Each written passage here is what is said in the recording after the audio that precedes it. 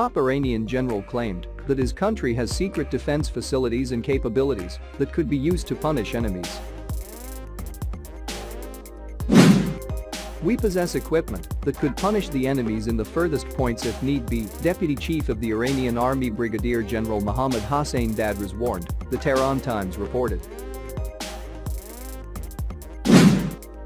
Today, many of our equipment are unveiled, but our more effective equipment are not unveiled, and they would appear when they are needed to strike a tough blow to the enemy he said.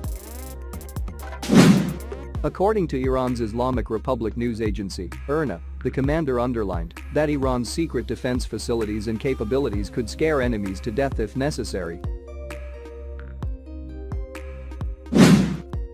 Dadras' remarks came amid continuing tensions between the Persian Gulf nation and the US, as well as a week after Iran revealed its Bavar 737 missile system.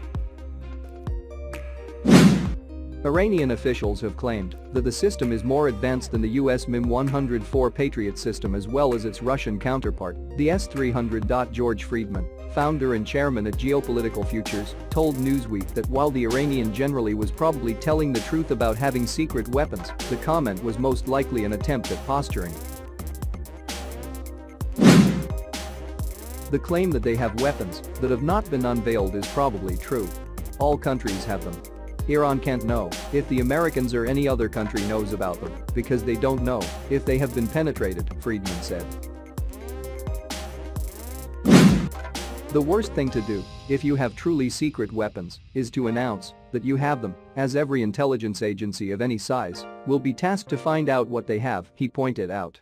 Announcing that I have a secret that you don't know is dumb. And the Iranians aren't dumb. So I take this as posturing.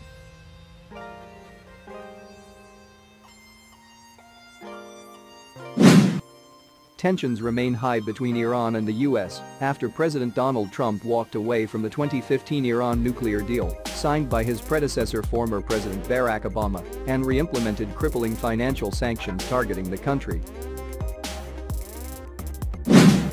The landmark treaty, which was also signed by the European Union, the United Kingdom Germany, France, China, and Russia, offered Iran sanctions relief and international investment in exchange for curbing its nuclear program.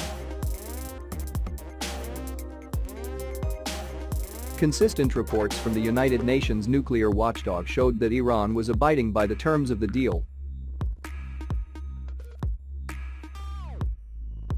But Trump believed the agreement was bad for the US Trump on Monday told reporters that he was willing to meet directly with Iran's President Hassan Rouhani, saying the country had tremendous potential.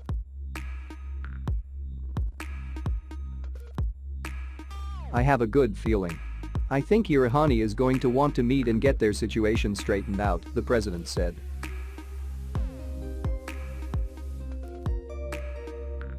They are hurting badly. However, Rouhani on Tuesday dismissed the possibility unless the US lifted sanctions against his country.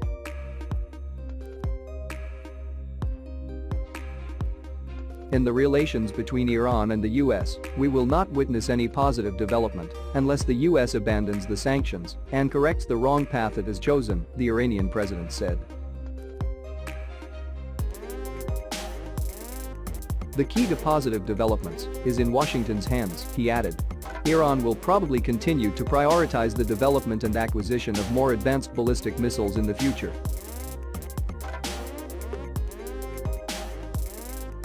and will continue its transition from liquid to solid propelled systems which are more sustainable, primarily because they offer greater self-sufficiency.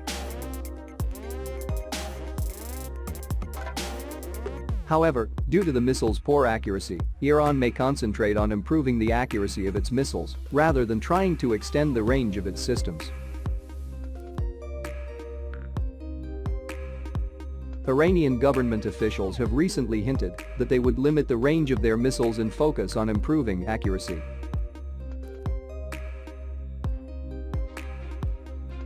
If they succeed, Iran may become a supplier of missile technology and assistance to other nations.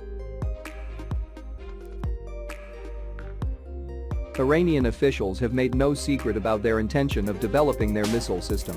For instance, Mohammad Javad Zarif, Iran's foreign minister said that Iran needs to develop its own defenses. Another official noted that Iran does not need permission to defend itself and to work on its defense capabilities. Experts believe that Iran has recently started working on how to counter the missile defense systems in the region.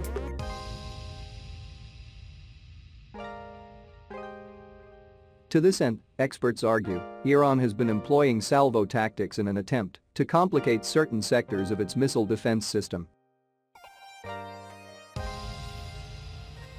including using diverse launch points and hiding mobile systems, which will allow its army to launch missiles anywhere it wants.